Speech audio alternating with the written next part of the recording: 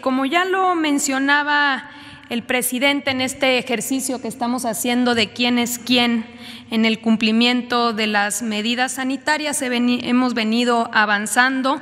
Hoy podemos informar que el 95% de las empresas, los negocios, cumplen eh, con estas medidas y el 5% aún hay una resistencia. En efecto, este porcentaje ha venido bajando en eh, las semanas que hemos venido presentando este informe.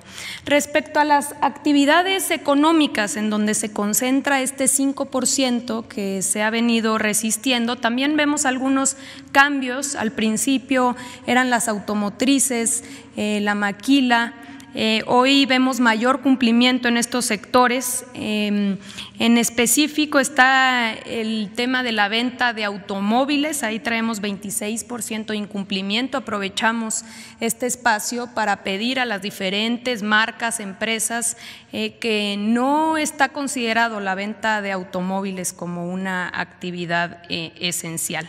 El caso de las tiendas departamentales, 21%, también con varios avances, acuerdos y compromisos eh, por las diferentes eh, tiendas departamentales de ir eh, y de, cerrar sus tiendas, salvo las funciones esenciales, específicamente algunos que tienen servicios financieros.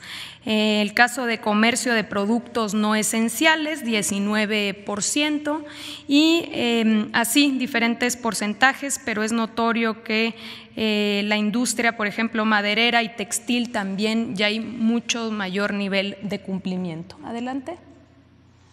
También se ha reducido el porcentaje de, em, de, estas empresas que se encuentran en municipios con altos niveles de contagio. Bajamos a 21% las empresas que se negaron a cerrar, que se encuentran en municipios eh, más afectados por la pandemia.